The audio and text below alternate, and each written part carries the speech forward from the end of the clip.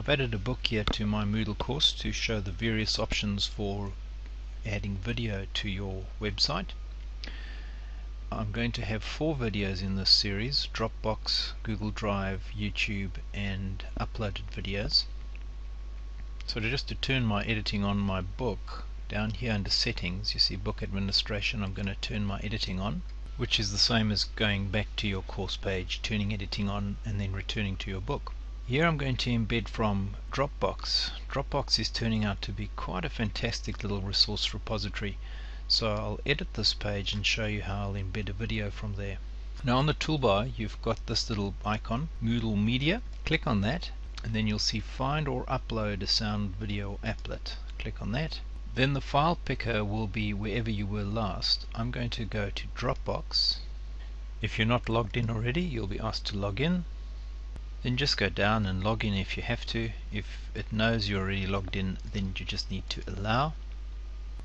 And the nice thing about Dropbox it'll only show you the video file so you click on it. Now the one that works is this bottom one okay? Create an alias shortcut.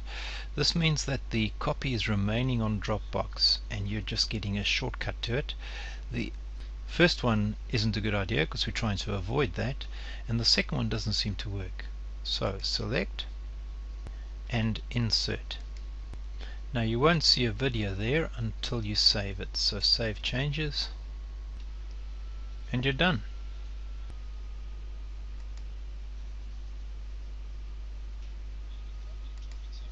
And that's all for embedding from Dropbox. Very simple. And here's an extra little tip. If you're not interested in resizing this video, then don't worry about watching further painful thing about using this QuickTime plugin is that you cannot resize it. There's no button here to watch in full screen or what have you. But here's a little trick. I'm going to edit this. Then what you do is you go to the HTML and at the end of the href, so at the end of the address of the video, you type the following question mark d, d for dimensions, equals, then put the width, times the height. So I've gone for uh, the standard 640 by 480. So I put in question mark D equals 640 by 480.